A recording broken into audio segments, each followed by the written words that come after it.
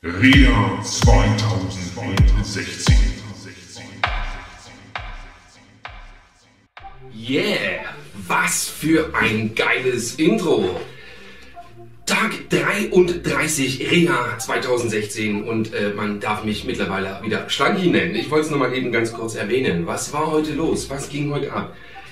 Frühsport war ich heute wieder einer der ersten, also der 7 Uhr Sportler und Schwitzer. Das war eine wunderschöne Sache. Danach äh, warte, habe ich lecker gefrühstückt, das war auch noch sehr okay.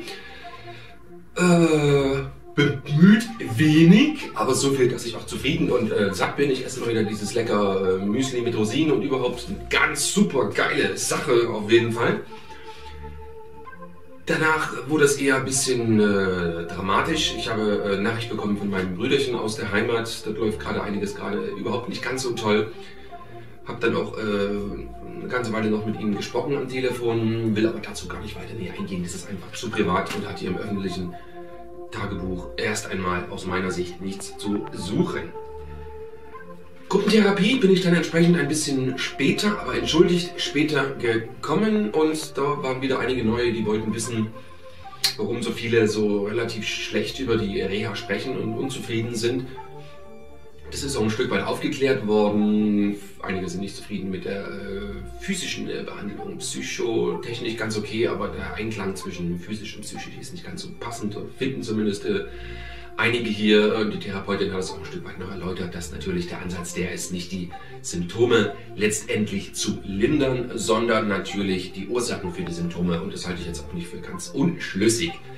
Das war das eine. Nebenbei läuft hier ganz einfach mal, weil schon seit Tagen wieder Pisswetter ist, äh, ein bisschen schönes äh, Video noch äh, aus dem Wald, aus besseren Tagen ab.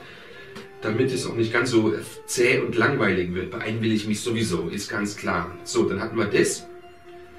Dann haben wir als anderes Thema noch gehabt, wie umgehen mit Freunden, wenn ein Freunde runterziehen, wie mit denen umgehen, wenn man das Gefühl hat, sie würden permanent nur jammern oder wenn man selber ganz oft jammert, wie man Freundschaften pflegt, so dass man miteinander schon ehrlich ist und seine Befindlichkeiten teilt, aber auch ein bisschen nicht dahin geht, dass sich zwei Freunde beispielsweise gegenseitig stundenlang nur runterziehen, sondern auch ein bisschen nach oben ziehen. Und da haben wir recht äh, verschiedene äh, Ansichten gehabt.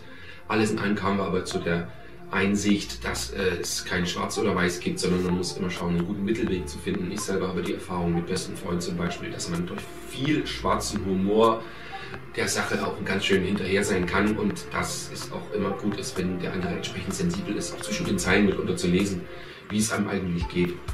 Das war das an dieser Stelle. Im Anschluss gibt es heute, ich will es einfach mal ganz kurz erwähnen, das hier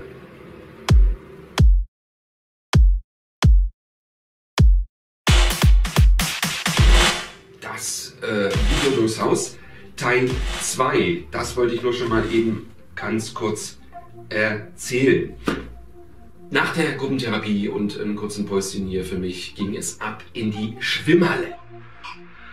Und gerade wieder zurück von der Wassergymnastik. Juhu, war direkt anstrengend, war fast ein bisschen wie, wie Fitness, aber es war schön. Und jetzt geht's zum Mittagessen. Weiter geht's mit dem Tagebuch. Super, Dankeschön, Sven. Schöne Sache. Direkt mal oben ohne Schlanki. Oh, das fetzt. So, anschließend ging es zum Mittagessen. Rindergulasch war heute angesagt. Wo ist eigentlich meine Kaffeetasse? Na, macht nichts, geht doch mal ganz gut ohne.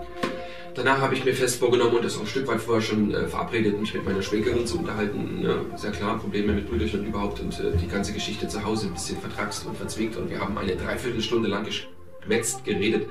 Hat uns, glaube ich, ganz gut getan, aber auch das bleibt im Großen und Ganzen erst einmal hier im Verborgenen, im extrem privaten dieser Bereich.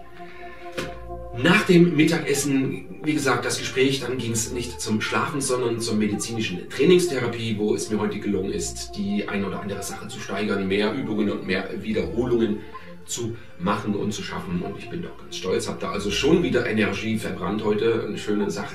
Anschließend, kurzes Schnippeln mal wieder am äh, Video. Ich bereite schon die Jingles vor für die letzte Woche, um abschließend nochmal die ganzen einzelnen Abteilungen hier im Haus zu bewerten, aus meiner natürlich sehr subjektiven Sicht. Im Nachgang, solange es noch hell war und obwohl es gepisst hat, bin ich dann zum Supermarkt gegangen, habe mir drei Milch geholt, damit ich die Kaffee nicht immer mit gar so viel äh, Kaffee äh, trinken kann. Ich mag es nach wie vor unwahrscheinlich sehr, wenn ein Drittel Kaffee und zwei Drittel Milch drin sind. Ein bisschen Sündenzeug habe ich mir auch noch geholt. Lecker Waffeln. Und äh, dann ging es kurz zur äh, Volksbank. Hätte sein können, dass doch schon eventuell Geld da ist. Ich will gar nicht weiter jammern. Ich habe auch gerade die Tage nicht gezählt, wie lange ich schon ohne Nieten hier sitze. Natürlich war erstmal nichts auf dem Konto. Jetzt geht's hier äh, zurück. Nachher geht's zum Abendessen und heute Abend Schwimmhalle oder Tischtennis oder sogar beides. Ich bin fertig mit dem Tag 33 und jetzt geht's hier die Dicken durchs Haus Teil 2.